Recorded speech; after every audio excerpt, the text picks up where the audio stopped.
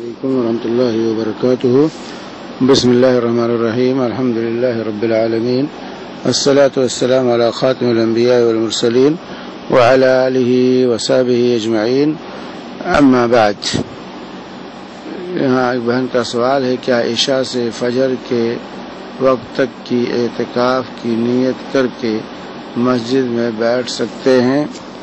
तो इस सिलसिले में अर्द यह है कि रमज़ान में वैसे रसूल पाक सल्लल्लाहु अलैहि वसल्लम की सुन्नत पूरे आखिरी अशरे का एहतिकाफ पूरे आखिरी अशरे का एहतिकाफ है कि इंसान पूरा अशरा एहतिकाफ में गुजारे।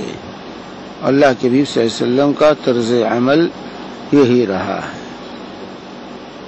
लेकिन जहाँ तक सवाल है कि ईशा से फजर तक तो इस सिलसिले में अर्ज़ ये है कि इसको भी एहतिकाफ कहा जा सकता है, अगर किसी के पास टाइम नहीं है। लेकिन बेहतर ये है कि पूरी रात का एहतिकाफ करे। बेहतर ये है कि पूरी रात का मगरिब से लेकर फजर तक पूरी रात का एहतिकाफ करे, या पूरे दिन का एहतिकाफ करे। क्योंकि पूरी रात के एहतिकाफ के सिलसिले में बुखारी की और रवायत है, जिसमें हज़रत उमर रदी अल्लाह तआला उन्होंने रसूल पाक वसल्लम से पूछा था कि रसुल्ला मैंने नज़र मानी थी कि मस्जिद हराम में एक रात एहतिकाफ करूँगा। तो अल्लाह के भी वसल्लम ने उनको इस नज़र के पूरी करने की इजाज़त दी कि जाके तुम अपनी ये नज़र पूरी कर लो, एक रात का एहतिकाफ कर लो। एक रात का एहतिकाफ जाके कर लो। तो एक रात का एहतिकाफ बेहतर ये कि पूरी रात का एहतिकाफ करें। ईशा से नहीं, मगरब ही से जो है एहतिकाफ में जो है बैठ जाए, पूरी रात का एहतिकाफ करें। एहतिकाफ कहते हैं मस्जिद में अल्लाह की इबादत की गरज से जो है ठहरना, अल्लाह की इबादत करने के लिए मस्जिद में ठहर जाना, मकसूद अल्लाह की इबादत। मकसूद अल्लाह की रजा और उसकी इबादत की खातिर मस्जिद में ठहरने का नाम एहतिकाफ है। तो बेहतर यह है कि एहतिकाफ एक रात का हो या एक दिन का हो, इससे कम न किया जाए। वैसे वलमा ने एक घंटे के एहतिकाफ को भी लिखा है कि घंटे के लिए कोई ठहर जाए, वो भी एहतिकाफ हो जाएगा।